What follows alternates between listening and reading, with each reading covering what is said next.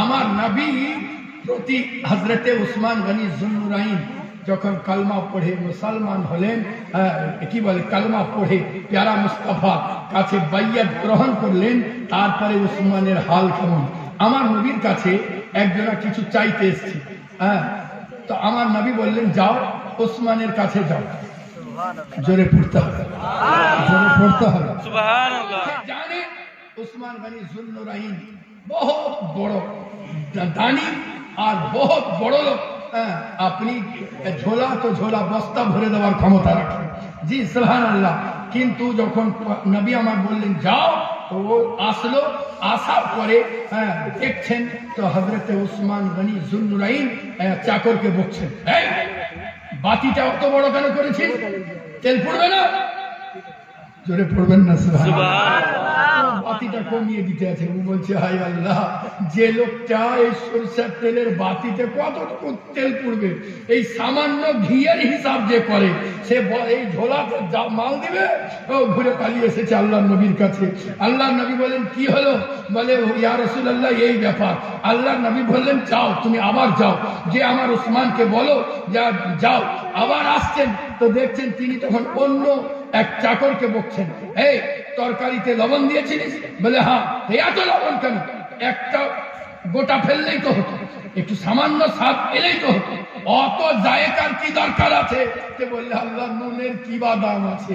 লবণের কি দাম আছে? একটা গোটার হিসাব করেছে সে দাম দিবে, ভয়ে আর বলার ক্ষমতা নাই। সোজা চলে এসেছেন। কারণ একটা লবণের গোটা তো ওর দরকার নাই। অত বেশি মাল দরকার। আবার নবীর কাছে এসেছেন। আল্লাহর নবী বলতে আছেন, যাও, এবার চোখ বন্ধ করে সাহস করে বলে দাও, আমার নবী পাঠিয়েছেন। জোরে বলেন, সুবহানাল্লাহ। হযরতে উসমান গনি জুন্নুরাইনের কাছে যেমনই পাঠিয়ে দেওয়া হয়েছে, উসমান গনি জুন্নুরাইন বলেন, কি ব্যাপার? তুমি বারে বারে আসছো পালাছো কিছু বলো না। কি খবর? বলে আপনার কাছে এসেছিলাম। হ্যাঁ মাল নিতে। হ্যাঁ আমার নবী পাঠিয়েছেন তাই এসেছি। ও আগে থেকেই বলে দিচ্ছি যে পাঠিয়েছেন নবী আমার তাই এসেছি। আল্লাহ নবী সাহিবেল্লাহকে পেয়ারা সাহাবি বলেন আসো তুমি আমার সঙ্গে চলে আসো। কি মনে মনে করছে ঘরে ঢুকিন মারবে না তো। হ্যাঁ তারপরে ভান্ডারে ঢুকিয়ে বলতে আছেন নিয়ে নাও তোমার যত খুশি যেটা খুশি। তোমার যত খুশি যেটা খুশি যা দরকার, নিয়ে এলাম ও থরথর করে ঝোলানি কাঁপছে। ভরতে পারে না। ওসমান গানি জন্নুরাইন বলছেন, আমি বুঝতে পেরেছি। ওই বাত্তি তোমার সামনে চলে এসেছে না? বলে, জি বাত্তি চলে এসেছে। বলে, যাও, নিয়ে এলাও কোনো ব্যাপার না ওই একটু হাঁটার পরে আবার মনে পড়ে গেছে, একটা লবণের হিসাব যে করেছে। আমি যদি খাবলে করে মাল ভরি, তাহলে তো আবার আমাকে হিসাব লাগবে। ও দাঁড়িয়ে গিয়ে আবার কাঁপতে শুরু করেছে। বলে, আমি বুঝতে পেরেছি, লবণ তোমার সামনে দাঁড়িয়ে গেছে।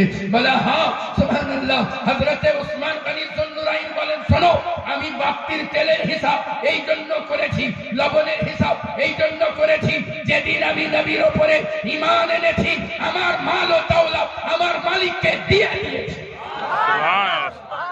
ওসমানের বলে কিছু নাই এই জন্য হিসাব করে চলি আজ খোদ মালিক তোমাকে পাঠিয়েছে যত খুশি নিয়ে নাও।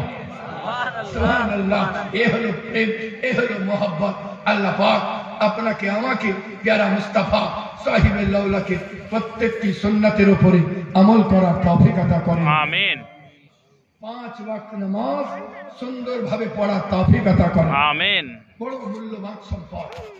আমার প্রাণপ্রিয় অগ্র আমার আগের বক্তা বললেন করোনা